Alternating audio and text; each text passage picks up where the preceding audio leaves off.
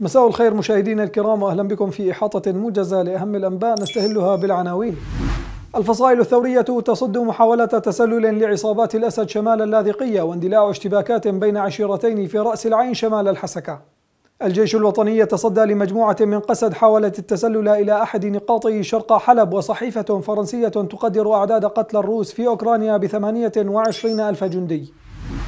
أهلا بكم. تمكن مقاتلو الفصائل الثورية من صد محاولة تسلل لمجموعة من عصابات الأسد حاولت التسلل نحو نقاطهم على محور تلة الخضر بريف اللاذقية الشمالي لتندلع اشتباكات بين الطرفين. انتهت بانسحاب المجموعة المتسللة بعد سقوط جرحى في صفوف عناصرها نتيجة تعرضهم لرشقات من الرشاشات الثقيلة أثناء الانسحاب. اندلعت اليوم اشتباكات بالأسلحة الخفيفة والمتوسطة بين قبيلتي العقادات والموالي في مدينة رأس العين بريف الحسكة الشمالي نتيجة خلاف متجدد سقط فيه قتلى من الطرفين.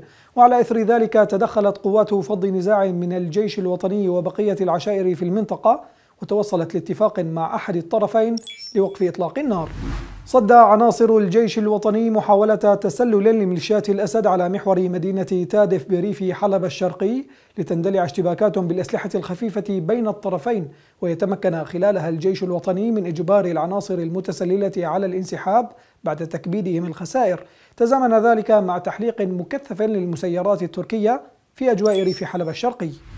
ختاما قالت صحيفة لو فيغارو الفرنسية إن العدد المقدر لقتلى جنود الجيش الروسي وصل لثمانية وعشرين ألف قتيل.